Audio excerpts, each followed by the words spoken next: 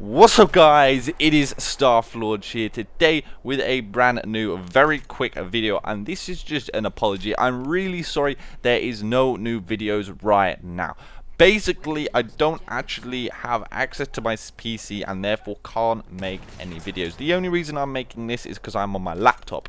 And I thought I could use all of my footage from my computer and my PC and all my files there on my laptop but for some reason evidently due to minor software differences I can't actually use any of it. When I go to edit anything on my laptop it basically just says it there's an error it's uncompatible and things like that. So basically I can't actually make any videos. Now I will be back with my PC late Sunday so hopefully I will get my review out Monday. Following that I will be getting a build competition, the build competition out showing off the top 5 builds that were sent in and then we have some new content coming as well as I am working on some gun stuff and gun videos for all of you. I just wanted to say thank you for everyone for sticking around and everyone that is still here. The content will come, it's just I can't physically currently actually make any content. I am really sorry that this is the case, but I hope you all understand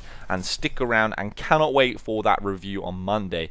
Basically, the review is me just uh, spilling out what I thought of the game. I wanted it to be as true and unscripted as possible, so it is literally me just sat down and basically spoke for like 20 odd minutes, basically just about every feature in the game, not literally every single thing, but a broad overview of the game of what I think are the bad points. There are some good points in there, and it also has an update of what's coming for this channel in terms of Mass Effect.